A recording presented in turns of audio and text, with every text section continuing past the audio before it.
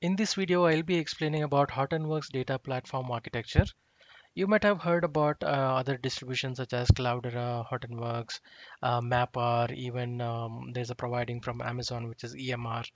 Uh, I have particularly chosen Hortonworks here. Here is a functional architecture diagram of uh, Hortonworks data platform. Uh, as you can see, there are, there are uh, several sections here in this diagram. So let's go through one by one. So the first section is the governance and the integration. And here are uh, certain you know workflow management and um, you know data ingestion uh, services or applications available in order to uh, get the data from external world into HDFS. So this section is all about data ingestion part. Uh, in that you have um, Falcon, Sqoop, uh, Flume, NFS, and WebD, uh, Web HDFS. The Sqoop is a very command line interface wherein you can write your Sqoop command uh, to you know get the data and dump uh, into HDFS or you know the other way.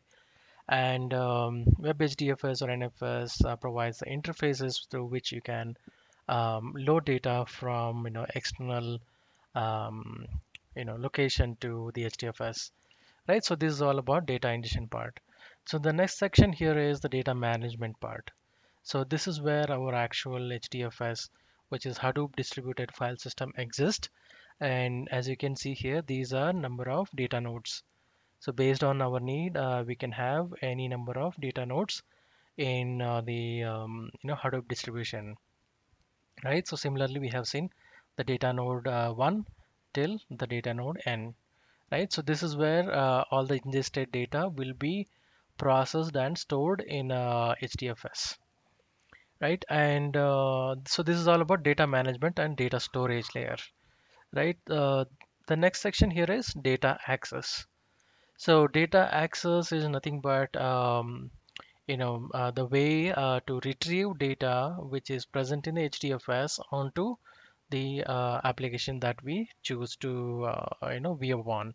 So for example, you can write uh, the MapReduce batch scripting um, maybe using a Java or any other you know programming you can write your custom uh, MapReduce and then get those executed on HDFS. So how the, the handshake between uh, the data access layer and data management layer is via YARN, right? There's, there is another uh, technology here uh, called as Tez. So that is one of the uh, execution engine, but most widely used um, engine is YARN, right? But, but uh, in the recent past, there are several you know access uh, methods uh, that make use of Tez execution. Right? We'll talk about it in a minute.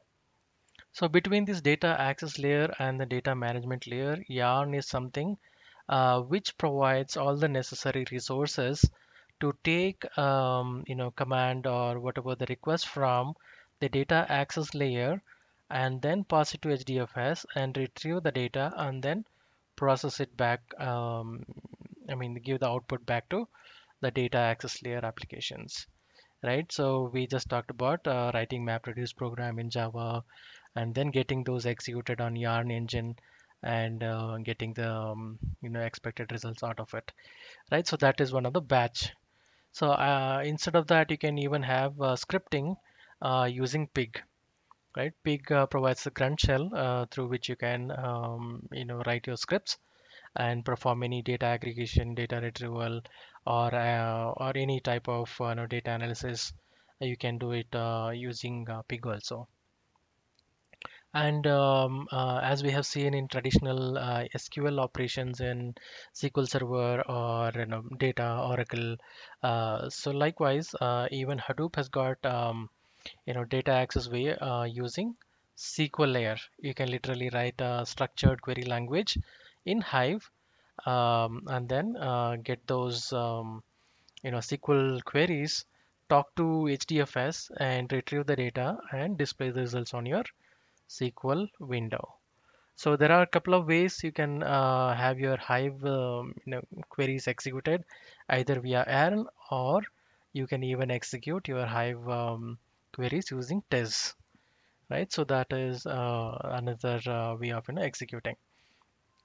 So moving on, um, so we have seen the batch script mode and then the SQL mode and uh, Hadoop has got uh, even NoSQL solution uh, which is a HBase right? So I have a separate video on HBase you can um, probably go back and watch uh, from my playlist right? So this is uh, the NoSQL columnar database solution from uh, Hortonworks uh, distribution.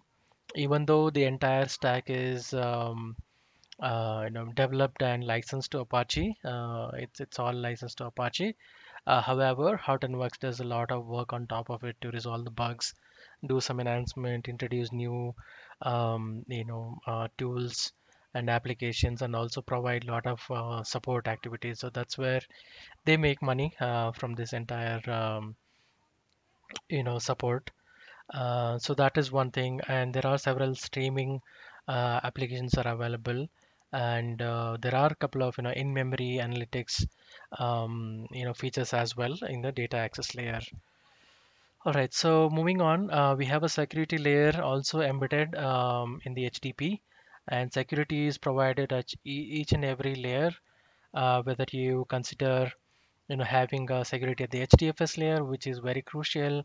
That's where your data gets stored in the you know HDFS, right? So that that's a cru- crucial. So um, security is provided at uh, HDFS layer, Yarn, Hive, and any other application layer using uh, something called as Knox. So Knox is the security provider for uh, Hadoop uh, distribution.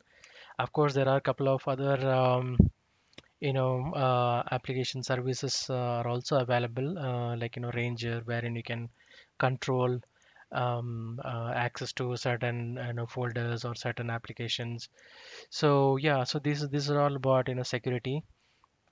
Coming to operations uh, you have got provision uh, manage and monitoring uh, services such as ambari and zookeeper right? Ambari is an admin console uh, through which you can um, you know view all the services that are running.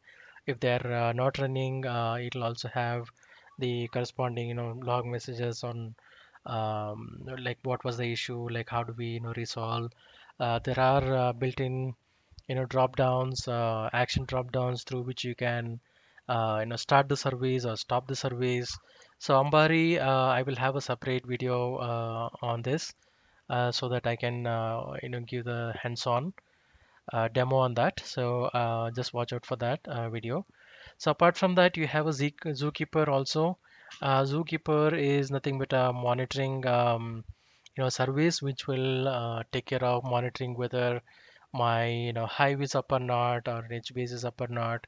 Uh, or if we have multi-node uh, cluster, it'll also know um, how to you know do the load balancing and also when some nodes go down uh, it'll automatically you know put mm, uh, pass the services from the passive node to active node so all, all those things are done by the zookeeper right? So these are uh, the provisioning and uh, managing and monitoring um, you know operations. And the last bit is the scheduling part. Uh, as you might be knowing right you know if you have uh, multiple batch scripts or you know multiple hive queries or several other uh, possible you know scenarios right? You know you may have scripting hundreds of scripting or hundred of you know hive sequels to be executed based on certain you know condition so you can make use of Oozie. Uh, Oozie is nothing but an XML based scheduling tool uh, through which you can um, you know execute any sort of you know scripting batch or even hive queries uh, which can be bundled into a SQL file and call those and execute those based on certain you know parameters or event or time based. So there, there are a lot of scheduling um, you know options available in Oozie. So that is um, you know the part of Oozie. So on a high level, you have the data management layer, which is data storage as well. That's where your uh, data exists and data access layer is where uh, you uh, write your uh, scripts or queries and interact with the HDFS and retrieve the data, right? And we have ingestion tools to bring the data from external world into HDFS, right? And uh, the security, uh, which is a very um, important factor, which is available in each of the layers so that your data is protected right? And finally, you have monitoring um, and management uh, on operations tools. and along with that scheduling tool.